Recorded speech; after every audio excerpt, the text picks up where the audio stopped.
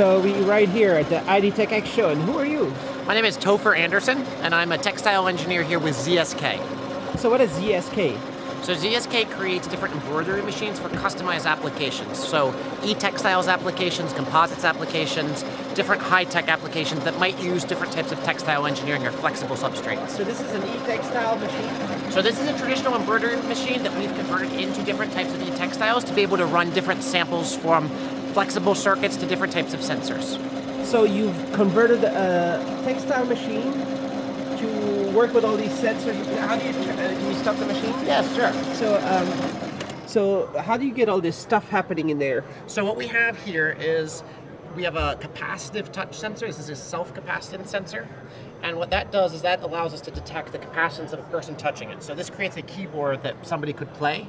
We also have a conductive path that travels up through uh, the individual um, e-textile, and that is terminated and connected automatically through the board. So what we're trying to do here is to create a single step manufacturing process to be able to create the sensors, the connections and routing, and then also to connect them automatically to the board so there's no post solder. You're not able to do all this with this machine, right? All of that's done with this machine right here. That's it? All of it is just with this machine. That way there's no soldering or cutout or anything else with it. And it's real? Yes, so we have a functioning demo over here of this piece.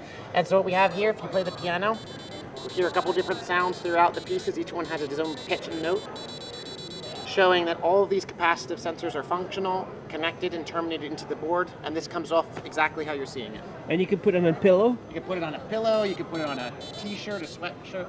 The technology doesn't matter, uh, doesn't uh, eliminate different types of base materials. And what happens with this one? So in this one right now, I'll hold this up for you. This one we're using LED sequins. So we have technology that allows us to place sequins down.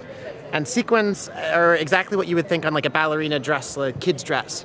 And so with this, we have a whole bunch of different sequins that we can put LEDs, different electronics on. And that allows us to create a very, very flexible substrate. Where's the electronics? So the electronics are built into these tiny little sequins right here that are stitched into the piece. And then we have two terminals for battery right now, but that could be some other type of customer so you said this machine does everything, really? Like, uh, what's the what's the material in here, and where do you put it in the machine, and how does it get down and everything yep. in there? So here we're using a silver-coated nylon by Madeira. Uh, it's a, a, company that we've worked with a lot on different conductive threads, and that seems to run very well on our machine. So what we do is we have our thread base over here with a bunch of different colors. I think on this machine we have 12. Some of our, our machines go up to 24 and we can take one of these, and I think it's right in the middle there, you'll see that's the conductive thread. So the, the one that's uh, maybe this one? Correct, yes. That one is a conductive thread, yes. but it just it just acts like a thread? It acts like a normal thread, and that allows us to use the traditional processes for embroidery to be able to do stitching and to be able to create different sensors and connections.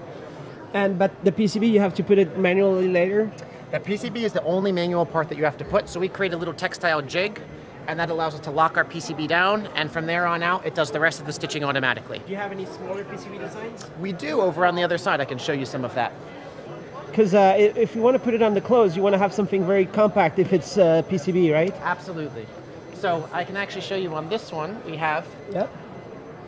So on this one, we have a smaller board that we designed in-house, and this board is optimized for embroidery. Yep. And then on top of that, we have up here, you'll see small little LED sequins, again, similar to the other technology, but as long as the chip can be mounted onto a sequin, we can place that down and connect it electrically very reliably. So what does it do, on off? So on and off here, and this be able to set a capacitive set to be able to test and reset this little game. And then what happens on this game, it says you tap over here on the hands, and that's going to start this game. And it says press the top left red uh, triangle. And once you do that, it gives you one further in the design that you have to follow through to be able to get to the end of the design. So a simple little game just detailing how we can embroider different types of connections. Well, uh, what are you doing with this the seat? So another one of our technologies that we use does uh, tailored fiber placement or tailored wire placement. And this technology is a little bit different than the previous embroidery machine that I showed you. And this allows us to zigzag over a thicker conductive material or a tube or carbon fiber or something that is in general too thick to run through the top of the machine. And so with that, we're able to create composites or different types of structures, e-textiles, thick wires, ethernet cables, materials, again, that you could never run through an embroidery machine itself. And uh, what is this? This is stylish? And what does it do? so this is a project that we worked on um, in collaboration with the school. And what happens with this jacket, each one of these is a connective snap. And whenever you snap that in, that allows a connection to be made, and that allows different sounds to come off. Ooh, sounds. So, sounds. And then up here, we also have a hat that we had worked on, and this has the LEDs built directly into the hat. And so Is that that for uh, what's called um, Halloween? you could use that for Halloween, for however you want to use it. Uh, but uh, so what is the sound? Can we hear it or? So the sound, let me check if the speaker's in here. I think the speaker needs to be recharged on this one, but Okay. we might get that down later. And then you could just close one button and boom, And it makes an animal sound that corresponds to that button, yes. That's awesome. Cool. Uh, so where are you based? So our main company is based over in Krefeld, Germany. I run a facility out in Seattle to be able to do different prototyping or work with customers on their unique designs to see if it's feasible for our technology. But all the machines, all the technology is developed and built over in Germany. So uh, does that mean there's like uh, what's it called? Some kind of um, uh, uh, where people work on different the hack, hacking room hackathons. Sort of. hacking That's- kind of projects. that's kind of how Or I've set it up. Mass production also. So we have uh, the machines that are here are all very small, our smallest machines. We have machines that go up the entire size of a factory floor, and that those are the more the machines that use for production level, not prototyping. Nice. What does this one do? So this one is another example of LEDs built into, uh, in this case, a sweatshirt. And this one has different LEDs that we can change different positioning, different light brightness settings, and that allows it all to be put into a single garment. Uh, what is this? So over here we have uh, a, a foam and leather. So this is a thicker material. And what we were able to do here is uh, this is uh, more more used for automotive industry. So we're able to do automotive grade uh, stitching around the outside for decorative. And we also use our different chip technology to be able to integrate LEDs into this piece. Nice. And uh, this one? So this one is a fun piece. This piece is a, a dashboard that we're using to demonstrate a couple different pieces of our technology. So with this dashboard, you'll see that there's actually a board here that we can interact with, capacitive touch. And the capacitive touch, all of the sensors are actually underneath on this piece. So from here, what we're doing is we're embroidering our board in. We have each one of our sensors uh, integrated in. We also have our LEDs in, and this is all done as a single step process. So there's no soldering or there's no other setup required other than putting the board into the hole. And so we actually have a functional one of those over here if you'd like to see. And that would be what kind of market? So this we're looking at different automotive or uh, different interaction technologies market. Um, although it could be applied to a whole bunch of different uh, markets inside. Nice. Whoa. That's uh, it's interesting to touch stuff and then something is different. Absolutely, absolutely. So, um, uh, what's next? Do you think there's going to be a huge future for smart textiles? Are you going to be a big part of that? So I think from from my background in textile engineering, I think that from embroidery standpoint, I can create complexity of designs and be able to change my machines very, very quickly to run one type of sample one hour or a totally different type of second hour. And I think that allows for the highest amount of flexibility with design, which is what we're looking for for e-textiles. How does it work? This what is this software system here? So this is all developed in company, so we do all of our own software, firmware development, and machine development.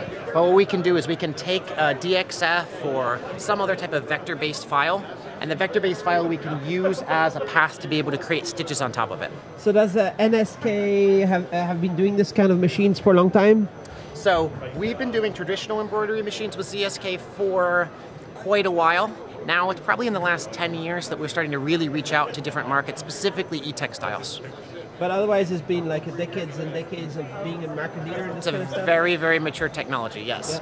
Yeah. And what is this uh, bird doing? so our bird. Yes. So our bird here, we have a very different type of uh, embroidery. So this is called K-style embroidery. So a K-head embroidery uses a chenille stitch, or essentially loops of material, to be able to create something that feels like the top of a terry cloth or a towel. And with that, we're able to create high surface area to be able to do things like create electrodes or electrode stimulation. So with that kind of technology, because it has such a high surface area, we're able to get a really good reading off of EMG or electroencephalograms. We're also able to do the reverse of that to be able to stimulate a region with So TENS just device. wearing a T-shirt Yes. is enough to get a heart rate. we could get a heart rate off of that. yes. Very good heart rate. That's it. No need to have it very tight or anything. No, well, you want it to be at least tight enough so you don't have uh, false signals. But other than that, the technology allows you to reduce your need for like saline gels or traditional gel-based materials that go on electrodes. So, are you the market leader for this kind of tech? I would think so. Yeah. Definitely. There's some competitors, right? There are a few competitors, but I don't think they're as advanced or mature in some of the e-textiles and composites work that we're doing. So I think that leads us out to, to a very uh, unique position to be in right now. And uh, here at the IDTechEx show, I think I've seen some companies that have uh, different kinds of propositions in terms of uh, doing those threads, maybe. Right. Are you reaching out to new and new threads that Ab- can do different things? Absolutely. So we're always looking for new materials to work with, new ba- base materials, new threads, new ideas to try. So if there any of those ever come up, feel free to reach out. We'll see if it's a possible fit. Have you had some good discussions here the IDTechEx show? Absolutely, absolutely. Some people New like, ideas, do more? things that we want to test out a little bit more, see if it's a good fit. So I'll run those samples in my lab back in Seattle when I get back there.